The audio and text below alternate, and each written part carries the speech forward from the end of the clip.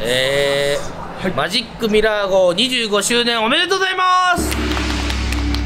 というわけで、はい。我々ね。今回あのまあはい。大大使というかマジックミラー応援団長ね。団長になりまして、はい。今回25周年でマジックミラー号が、はい。えーまあ、今回25周年のちょっとイベントとかいろいろ打っていこうというやつの大使に、まあ、応援団長かに選ばれましたので、賞レースもやるらしい、はい。マジックミラーワングランプリっつって優勝した芸人のコントをそのまま AV にしようっていうね、チャンピオンがで、まあ、それもしかしたらこうビッグな女優さんがはいはいくれるという話もありますのでで今回は、えーとですね、それの会見が今ねこの場で行われてたんですけどその後にちょっと YouTube を撮らせていただこうと。なるほど。はい。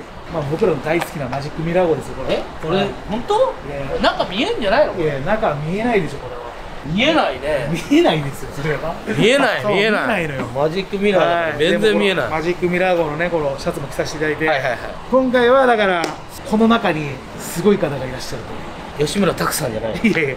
なんで男優さんの方？まあすごいけど。ね すごいけど。じゃあということでちょっと早速中入りましょう。もう俺らも外から見たことありますけど中に入るのは初ですから、あーあ本物だ本物。さくらまなちゃんださくらまなちゃんです。どうもエロい人です。よろしくお願いします。さあということで今回こそもさくらまなちゃんです。じゃあお邪魔します。はい。初めて初めて入ります。あもうくつろいでってくだあさい。これ靴脱いだ方がいいですよね。そうですね。はい。入ります。うわ初初ですか？ーう。わ初。すごい。初マジックミラー号。ーすごいわ。見て。外丸見えこれこれスケスケこれ外から全く見えなかったですけど中からは丸見えだ。すごいこれね。で見てました。あもう見えてました僕らのこと。見えてましたもん。え僕ら丸見えでした？丸見え丸でした。えちょっと聞こうかと思っちゃった。ごめんなさい。僕の祈祷見えてました？見えてました。しかも裏の裏の方からね。裏の方。裏筋裏筋の方から。いやいやちょっとあの座ってください。はい。はい。あせっかくなんでいいですか？大丈夫ですよ。さあということで本日のゲストさくらまなちゃんです。お願いします。お願いします。お邪魔します。大好き大好きね。みんな大好き。よ。本当もう嫌いな人いないからもう本当にラーメンです本当に。ラーメン。ラーメン？嫌いな人聞いたことないしラーメン。はい。セクシー界のラーメン。セクシー界のい。やいや、とんでもない。セクシーラーメンとか。セクシーラーメンです。はい。セクシーいラーメン。やでも。僕も結構大人っぽい子が好きなんですようん僕 AV マニアなんですけどうんはい。だけどなんかね、マナちゃんだけやっぱなんか可愛らしいんだけど、なんかすごい大人っぽい魅力もあるというか、不思議な、まあそそうなんか二面性があるというう、か二面性があるのよね。なんかすごい幼い顔となんか大人っぽい顔でそうそうそう。はいやだ、なんかめちゃくちゃ褒めてくださるじゃないですか。そういや正直正直この近くではい話してドキドキしてますドキドキしてる。僕らはいそう。来てよかったです。いやしかもこのねなんか地べたマジックミラー号の地べたで。いいね。いやーでいや今回もすごい初めて。すいませんなんかコラボという形大使でねにしてもはい。らって。僕ら大使ね選んで。いただいてはいありがとうござい。ますよろしくお願いします。マナちゃんはお笑いとか見るんですか？いや、大好きですよ。二人のとかもすごい見て本当ですか？はい。もう YouTube も見てますし。本当にぼ僕らのチャンネルってもう忖度抜きなんで、はい。ガチで好きな芸人を教えてください。あの一番。一番好きなえ、芸人。ガチですはい。一番好きな芸人。いや、でもだから仲出しするとしたら、は いやめちゃくちゃ乗ってくれるな。はい。はいそうですね。ああ、パッションやらさん。おおえー？うん。うん。うん。え、これは結構見てる人たちは喜ぶと思います。あ、あの結構パッションやらさんみたいな方が見てるんで。あの、40代男性がよく見てるんですよ。なるほどね。もう翌日死ぬとしたら、はいやってから死ぬ。うんってやってうんうん。とほぼとどめを刺してから自分で叩いてそうですね。もう最後は自分でみたいな。い結構お笑いは見たりするんですか？や、もうめちゃくちゃ見ます。あはい。本当ですか？だから結構こう私がラジオとかで芸人さんとかとお会いするとうん私の周りも好きな方とかが多くてお二人と会ったみたいな話するとめちゃくちゃ羨ましがられましいやそれは嬉しいね俺そらも。れ嬉しいはね。やっぱ、俺らも好きだからさ。で逆に俺らもそうだもんね。俺らも芸人仲間にさくらまなちゃんと会ったよって話すとめちゃくちゃ喜ぶから。ですか？もううちのマネージャーさっき挨拶したけどやばかったでしょ。小菅君が大好きだかいらもう本当ね真っ赤になってて小菅君がだってあの、さくらまなちゃんの仕事は、の時は絶対来るの。吉本のマネージャー絶対来ないの。でテレビの収録の時来ないからね。そうなんですか？だよ。コロチキの時に写真撮ってもらったんだって、まなちゃんと。覚えてます。はい。その時の写真の自分の顔が、すごいエロい顔してて、すごいショック受けてて。あ ショック受けてるんですか？今日も撮ってもらいなって言ったけどいや本当にいいですみたいな。僕プロなんで。ってわけのわかんわけのわかんない理由で爽やかなことでしたよね。でも俺ね本当あって思ったわ今日。俺デビュー当時のマナちゃんより今のマナちゃんの方が好きだわ。俺は。あ超嬉しうんい、それ。ちょっと熟熟マナティーの方が。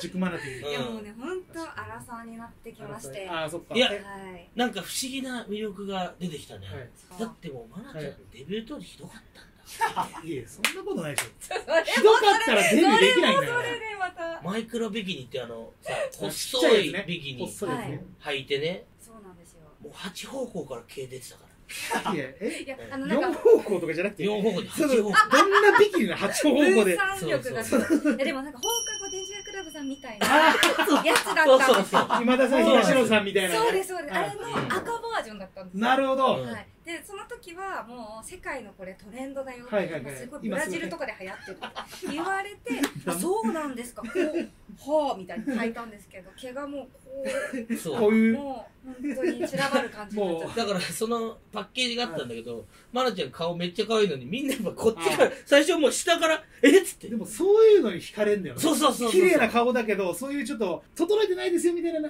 ワッシュしてますよみたいな、うん。そういうのがめちゃくちゃいいんですよね。でも今はねもうちょっと年を重ねてちゃんと今整ってる酒井さん、はい。企画いきましょう。せっかくだから言うも好きだからさ企画言いましょうよ。あ好きで、はいりょうちゃんのね。えっ、ー、となんだっけ俺緊張し いやいやいてやせっかくだってりょうちゃんもだって大好きなんだから。そう俺がそうだね。俺が作った企画だった。確かなんだっけな。早くしてもらっていいかな。ちょっと待ってちゃちゃんとちゃんとねちゃんとっていうか別にそんなないよねだって。そう気持ちよかった。セックスランキングだからベスト3だからもう言うよ俺ちょちょちょちょ気持ちよかったセックスランキングちょちょ待って待って待って待って待って。さあ、ということで、俺に言わせてくれえっと、ま今回のランキングはですね、まーちゃんが今までエッチをしてきた中で、はい。気持ちよかったランキングをベスト3で発表していただこうと俺いう、俺が考えたんだ企画になってます。酒井さん、酒井さん、もうダメです。もう、酒井さんはやっぱりダウンタウンさんの時もそうでしたけど、好きな人がいると緊張しちゃう癖があるんで、もう、せっかくだから俺も言わしてあげようと思ったけど、もう、りょうちゃん、もういい。さすがに長かった、今の。これはあの本当にはい撮影でもプライベートでもいいです、そそのランねキングで順3に位から。3位から発表していただきたいなと。はい。それでは、はい。いきましょう。第3位、お願いします。第3位は、はい。これは撮影なんですけお。ど「人生お悩み相談」という AV を撮った時のはい。セックスです。お願い。します。どどういうシチュエーションなんでしょうか？な どういう企画なんですか、はまずそういうのは。いやまあやっぱ SOD ってすごい変わった企画よくやるんですよ、はいはいはい。これ企画の SOD そう企ですよね。画の SOD、はいもうこれどこで抜くんだろうみたいな作品ってよく撮るんですけど。確かにあのそれ、あの面白そうだなって見てあれ？これエロくないんじゃないかってさ企画がいっぱいある んですよやってる側もちょっと思ってたんですね。いやこれどこで抜くんだみたいな。そうこれなどこを飛ばすよなな。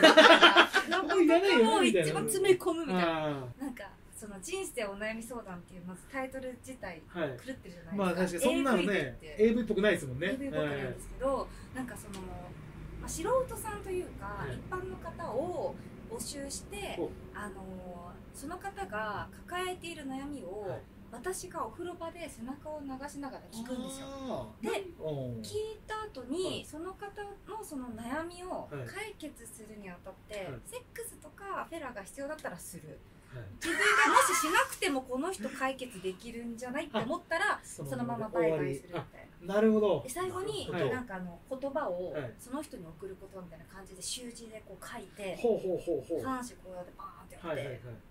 終わるっていうもうそう AV とは思えないまあ、ね本当にじゃあ相談に乗って、もし必要あればセックスしたりお口でやったりとかってことですね。ガチガチですガチねそれで？だある意味細木和子さんみたいなポジションみたいな。そういうことね。そのそういうことね、人生悩んだ方が来て、あこれ私のセックスが必要だなと思ったらうん。やるし、そうですね。ソープ版細木和子。はいはい。ソープ版細木がはい。すごい。はいえそれでえそれの中のセックスがっていうことはそれどういう何個何回かやったんですかその中で？何回かやったんですよ、はい。でまあこう6人ぐらいいらっしゃったと思うんです素けど、人の方ですか、はい。素人の方。あでやっぱり初めましてだし、うん。また男優さんとも雰囲気が違う。そうですよね、男優さんだとさっきおっしゃられてたようななんか仕事感あああなるほど、はいはいが強かったりして、はい。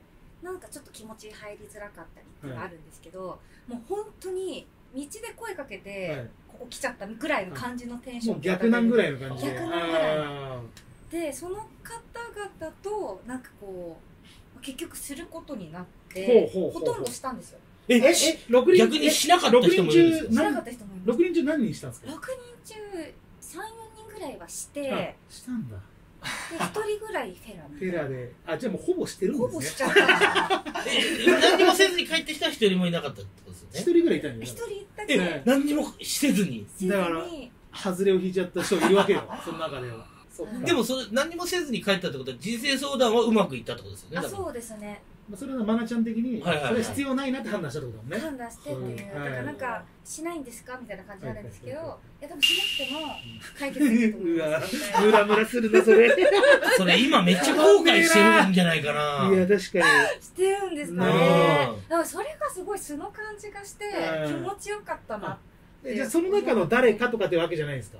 全体的に。全体的に。あ全員？はい。なんかそのその日一日気持ちよかったみたいな。ああそのもう気持ち的にも気持ちね的にも。ちゃんとガチの悩みも聞いてるわけだし。えそうで人としての奥行きも見れた上でこんなことで悩んでるんだ可愛いっていうのもあって、でするかしないか選べるわけじゃないはいですはい。か、撮影だともうするしかないからあ確かに確かに。やっぱなんかそこも含めて楽しくて。それで悩みっていうのはその下の悩みとかも多いんですか？あ下の悩みとかあとうん母親が高齢者で介護どうするあーうわガチの悩みだ。ガチとかもそれえありましたそれ悩み相談された後にその人とはやったんですか？やりました。どういうモチベーションでやるんだよそれ。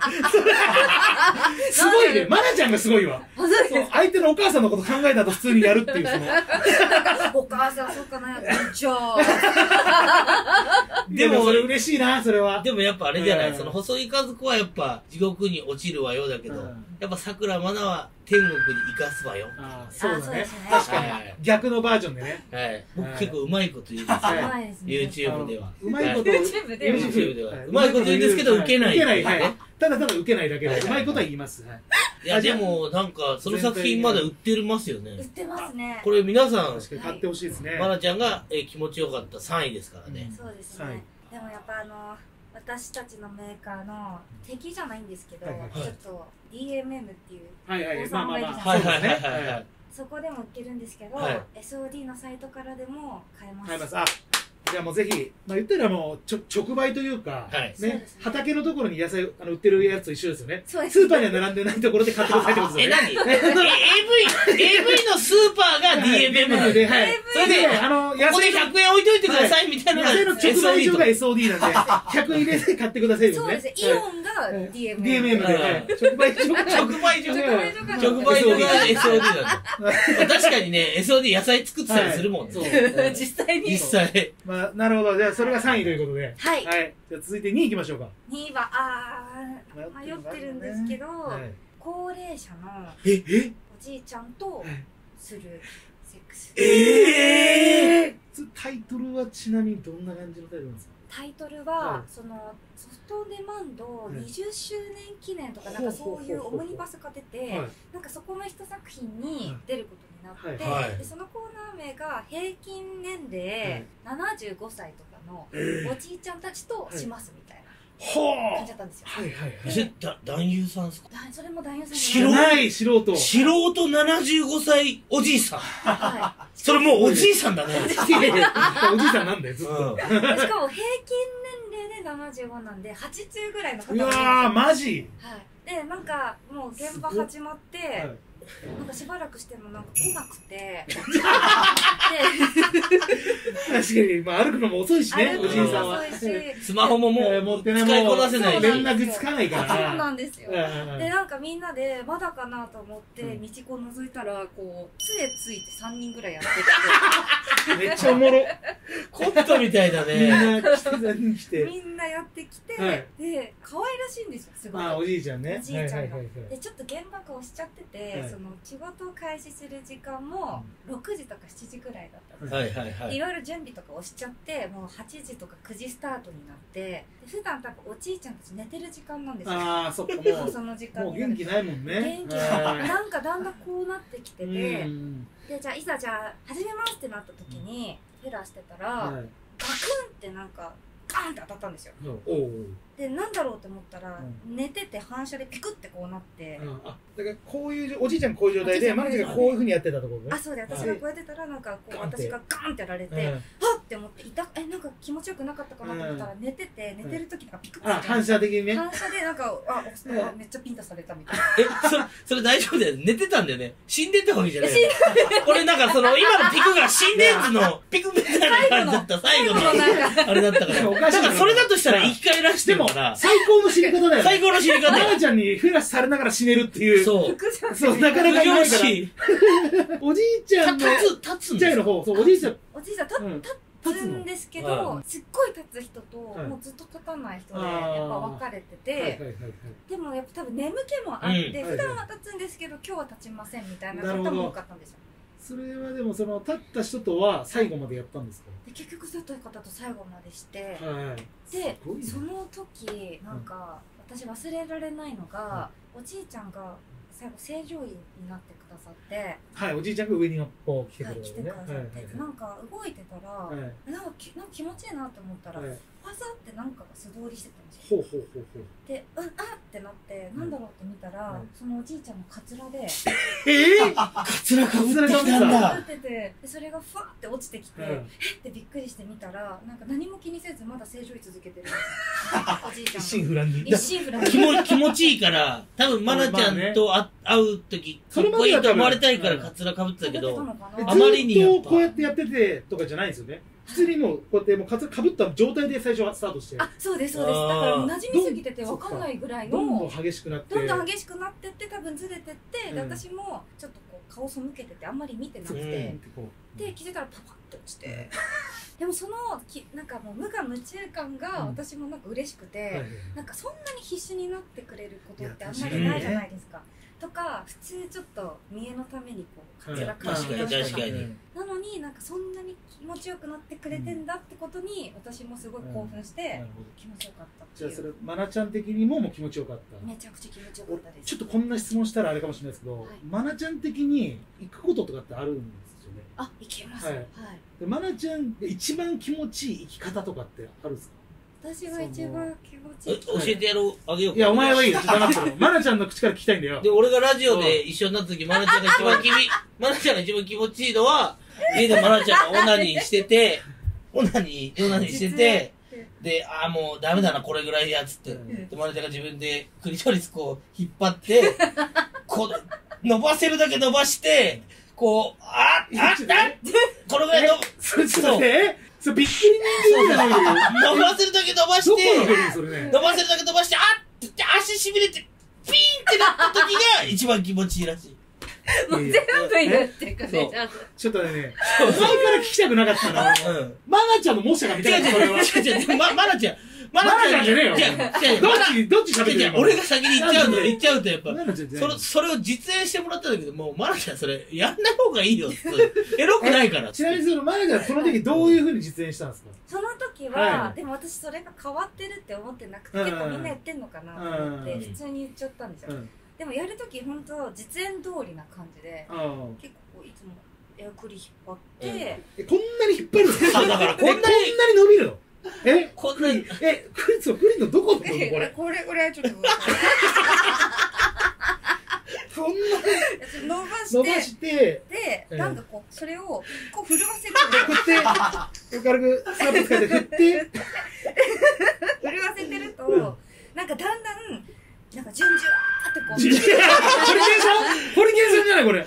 ジュンジュンバーってこうたぎってくるんですよあであたぎってきたと思ってまたピピピピピってするない。そしたらなんかだんだんしびれてきてうん。で足の親指とかがここピピピピピってくるんですよ。ほでビリビリビリってきたと思って、うんピーンってすると なんかもうシュワえもう最後ピーンってはもう跳ねる感じ？最後ピピーーピーってやって。たらもうシュワシュワシュワみたいな。すごいねすごい だからもうマナちゃんの口が聞きたかったの もう最初から。だから、俺、俺、俺の部分はカットしてもらっていいから。なんで大クリトリスから聞かなきゃいけないわけよもう。大クリトリスでしょもうそれ。そうだね、俺、大クリトリスでしょそれもうね。これもうお大栗さんでしょ大栗さんオオサンショウウオみたいに言わないで。結構あれオナニーするとき触ったりしないんですか？オナニーするときに。こうやってやって、ここ全然気持ちよくないからね、ここ。よく、よくなんか、いや確かに。コキンちゃんとかも俺らとか。俺もよく触るけど俺らなな撫でてる方が気持ちいいんだけどやられてる方はそんな気持ちないらしい。そうだね。そう意外と。えまなちゃんアナルはそんなにですか？どうですか？う。ちのアナラーとして有名な。んでアナルはいアナル大臣。アナルアナルの AV を探すときに、アナルスペースアナルで検索してます。通のアナルの作品が出てくるっていう。あのあれは大ミスだったね。アナルスそうペースアナルすごい。ですグーグルさんもそこには対応してなかったね。でも本当、この間のラジオでね、一緒になった時も、紗倉まなちゃんのもう10年やられてるから、ももしじゃあ引退ってことになったら最後は、鬼越トマホーク、酒井監督作品のうん。紗倉まな、アナル破壊で、初アナルで、は初破壊。ぶっちゃあんまり興味ないからさ、アナルにえさ。ちなみにアナル破壊って、はいどどのどの感じ飛び散るんですか？アナルいや、あのーどう、どうなったら破壊になるの？これ。最終的に、そう、いろんなアナルプレイして、最後、花束をそのアナルに行けるっていう。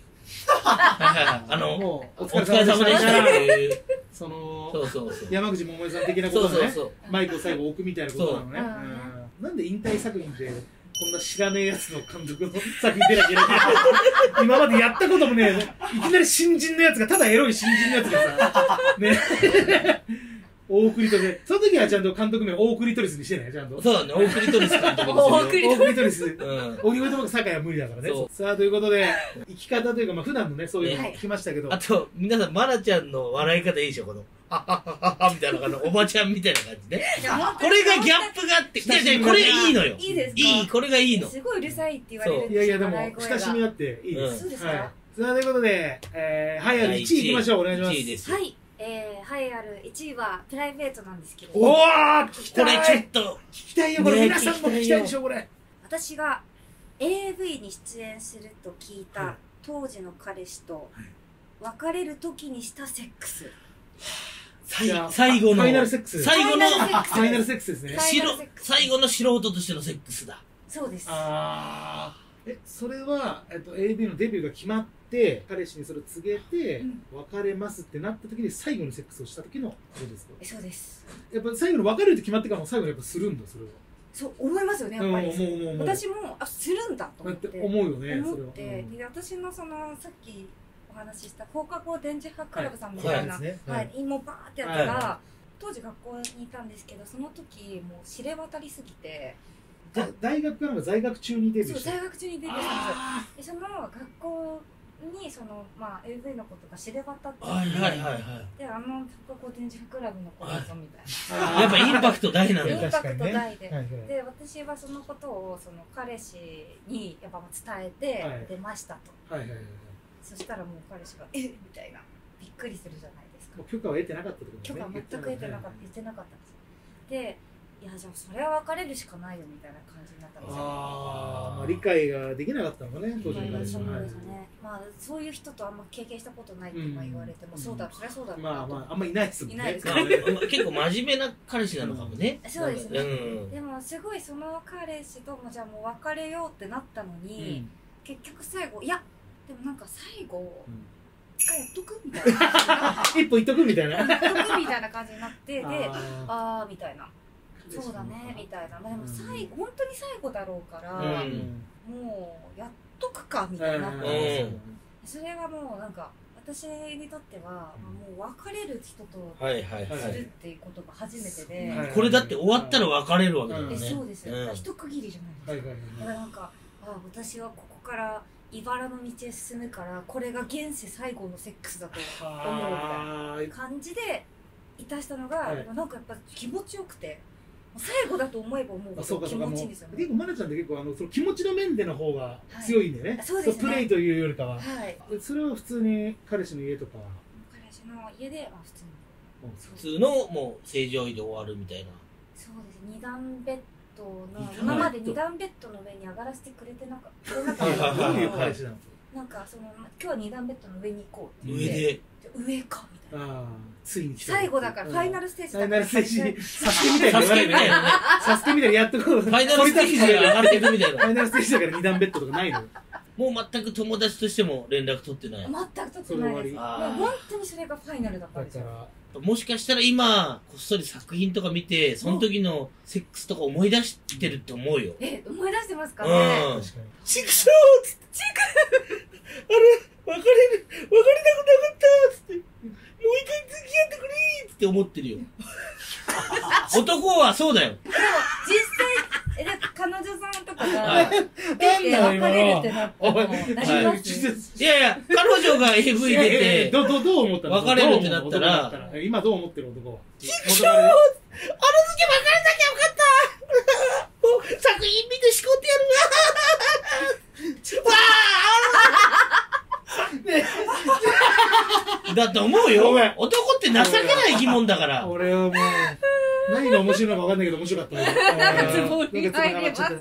ぼぼ僕は本当に30まで彼女いなかったんで、はいその AV に育てられたんで、ちょっとリスペクトあるから、彼女が AV 女優になるって言ってもちょっと嬉しいかもしれないですよ。あ、逆に。うん、見ないようにはするかもしれないですけどね。あ嫌なんじゃ他のだって、だ嫌なんじゃねだって他の男優さんの方が感じたりしてたらさ、ショックでしょいやいやそれはショックだよそれはねだってでかいじゃん。う。ん男優の方がでかいからさ。うん、モザイク越してもわかるじゃない。一応僕ら鬼ごと僕ダブル包茎でやってます。茎ダブル包茎でやってるダブル包茎です。はい。ダブルホルモンです。はい。ダブル。はい、ツッコミボケじゃなくて、はい、包茎と包茎でやってるんで。はダブル包いや、茎。そこ、それ、それ、ついなることないないですか？で、このチャンネルの視聴者も全員包茎なんですけど、包茎についてはどう思いますか？包茎問題。はいその、その元彼はどうだったんですか？あ、その元彼は、あ、でも、勃起したら、抜ける。火星ってやつだあ火星包茎ね。はい。まあでも、ほぼ、日本の男性は火星包茎だからね。そうですそね。の、もう、それ、いたすときに向けてくれれば全然いいってことでしょ？そうですね。えっと、うんお二人は火星？火星です。火星ですねはいもう完全な、はい。ど真ん中行ってます、火星の。はい。ど真ん中です。最後ね、何の話になったのかよくわかんないけど。でもやっぱ、うんあの、最後ちょっと感動的だったね。なんかエロい話っていうよりは、最後の別れる。それもうやった後、はいもうそすぐ別れちゃったんですか？あ、すぐ上がりました。ちょっと切ないセンおセンチな話でもあるけどね。そうですね。立つ鳥、あと濁さずみたいな。ななるほど。シャタフシャシャシャタフトもかかってます。ああなるほど。うまいけど、笑いにはなり一ません。本、まなちゃん。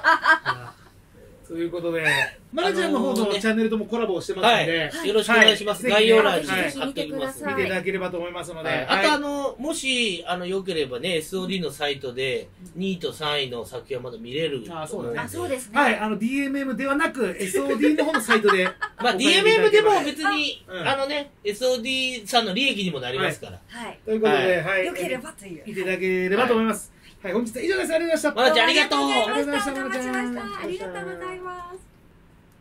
このチャンネル見てるやつは全員クズだお前らはもうクズが確定してるチャンネル登録はしたからだみんな、俺らの収益のために寝落ちしながら垂れ流すように。というわけで次の動画はこちら。